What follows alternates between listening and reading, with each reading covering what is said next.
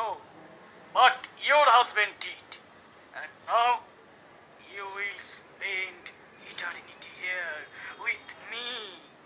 The last miner to die in this